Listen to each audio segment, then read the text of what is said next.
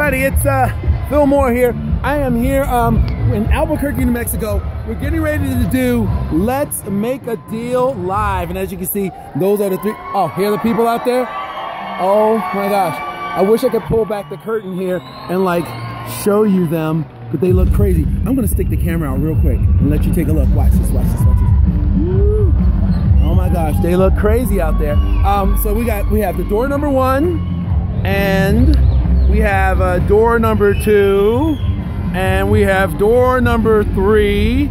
Uh, we're getting ready for the big show, and um, uh, I'm all dolled up. Um, Mark Walberg is in the green room. I go out first and kind of pump up the crowd and get them all warmed up, have a little fun, talk about the costumes. Uh, then we bring out Mark, then we bring out uh, our lovely model Loren, and we do the show. Behind these doors is stuff, lots of stuff. We've got boxes that we're gonna bring out. Look, take a look over here, look. These are some of the boxes. You know, like when you see on the show, and it's got like, oh look, hey, what's in the box? Well, it's a thingy thing. Well, that's the box that we bring out.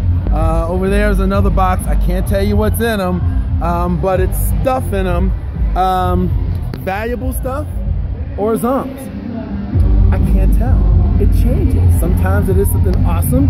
Sometimes it's a trip back to your seat, you know? But anyway, um, so the excitement you hear out there, the people yelling, uh, the screaming that's going on, the crazy costume. I hope you were able to see the costume shot. I actually had to stick and sneak the camera out through the curtain. I can't go out there yet. But um, hey, this is the life backstage of one of the coolest game shows in America. And oh my gosh, what a crazy privilege it is to do it live um, from Albuquerque, New Mexico, the same place they used to shoot Breaking Bad.